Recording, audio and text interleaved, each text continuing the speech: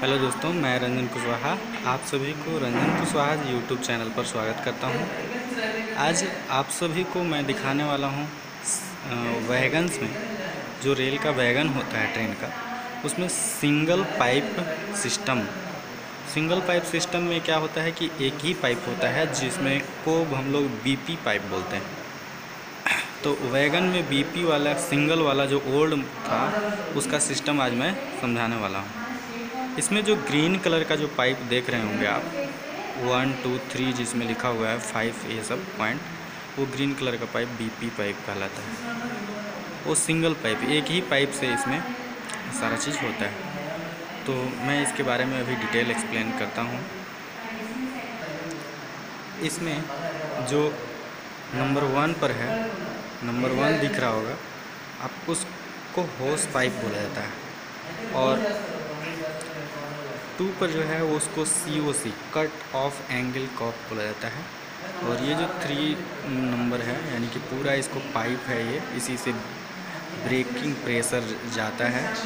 और यहाँ पर जो आप बड़ा सा एक टैंक देख रहे होंगे, ये टैंक आप, ये वाला टैंक बड़ा सा, इस टैंक को एयर टैंक कहते हैं। यहाँ पर एयर जो है प्रेशर वो स्टॉक होता है।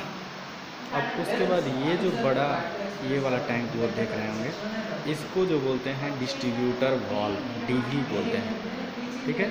और ऊपर वाला जो है ये ये वाला टैंक इसको बोलते हैं ब्रेक सिलेंडर ठीक है? तो इसका मैं फ़ंक्शन समझाने की कोशिश करता हूँ। सबसे पहले है इंजन को जब हम लोग अटैच करते हैं, इंजन से किसी वैगन को तो ये जो वन नंबर है, वहाँ से हम लोग बीपी को ब्रेक पावर जो प्रेशर होता है, उसको छोड़ते हैं। जब छोड़ते हैं, यानी उस सिस्टम को हम लोग कहते हैं चार्जिंग चार्जिंग जब करते हैं तो इस कंडीशन में यहाँ जो ग्रीन वाला पाइप है बीपी पाइप उससे होते हुए यहाँ पर डीवी में जाएगा और डीवी से फिर ये एयर का प्रेशर का जो टैंक है, वहाँ पर जाएगा। और यहाँ पर चार्जिंग होते रहता है। चार्जिंग कहने का इन सेंस है कि आपको इसको फील कर रहे हैं टैंक को जो एयर प्रेशर का टैंक है, चार नंबर आपको टैंक दिख रहा है। वहाँ पर वो जो है फील कर रहे हैं। उस कंडीशन को हम लोग चार्जिंग कहते हैं। अब अप्लीकेशन दूसरा है केस इसमें अप्लीकेशन अप्लीकेशन मतलब हम लोग ब्रेक को अप्लाई करना। और उस कंडीशन में जो लोको पायलट होते हैं, वो इसको जब वहाँ से प्रेशर को कम करते हैं तो ब्रेक अप्लाई होता है। और ब्रेक अप्लाई कैसे होगा? तो जब इसमें प्रेशर को कम करेंगे तो बीपी हटेगा और जो बीपी ख़त्म हो जाएगा, यानी प्रेशर ख़त्म हो जाएगा तो यहाँ जो सिलेंडर है, वहाँ से डिस्ट्रीब्यूटर वॉल्व से होते हुए फिर से ये ब्रेक सिलेंडर में चला जाएगा, जो कि सात नंबर पर दिख रहा है। और ब्रेक सिलेंडर में जाएगा प्रेशर। तो प्रेशर जब जाएगा, यहाँ का जो स्टोर प्रेशर था चार नंबर का, वो सात नंबर में जाएगा तो वहाँ से जो पिस्टन है, वो पिस्टन आगे की तरफ़ निकलेगा और पिस्टन आगे की तरफ़ निकलेगा तो ब्रेक अप्लाइड हो जाएगा, ठीक है? तो ब्रेक अप्लीकेशन उम्मीद करता हूँ कि आपको समझ में आ गया होगा। अब है लास्ट नंबर रिलीज़। रिलीज़ कहने का इन द सेंस है कि जब हम लोग छोड़ देते हैं तो पूरा प्रेशर निकल जाता है। ये है रिलीज़, ठीक है भाई? उम्मीद करता हूँ कि आप सभी को ये सिंगल वाल पाइप वर्किंग सिस्टम वैगन वाला समझ में आ गया होगा।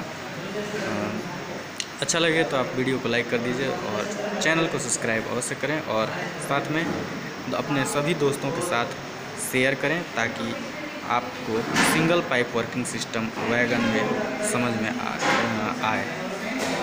तो बहुत बहुत धन्यवाद आप सभी को पूरा वीडियो देखने के लिए। लास्ट में मैं इसको थोड़ा सा ऑन करके दिखाता हूँ, कैसे ये वर्किंग करता है चार्जिंग वाला, ठीक है? ये देखिए अभी चार्जिंग हो रहा है, ठीक है? इसी तरह से ये जो टैंक है सात नंबर का, उसमें ये बीपी फील होता है, ये चार्जिंग इसको बोलते हैं, ठीक है? अब हम ब्रेक अप्लाई करके देखते हैं। पिस्टन आप अभी देख रहे होंगे, ये पिस्टन है, और ब्रेक अप्लाई करेंगे तो पिस्टन यहाँ से इधर आ जाएगा, ठीक है? मैं दिखाता हूँ वो भी। ये मैं अभी ब्रेक अप्लाई कर दिया हूँ और ब्रेक अप्लीकेशन के केस में देखिए सिलेंडर से निकल करके पिस्टन के पास गया।